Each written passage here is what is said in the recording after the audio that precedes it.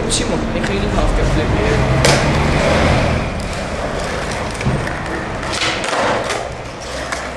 Voor een halfcap flip moet je een uh, backside 180 kunnen, fakie. En een kickflip.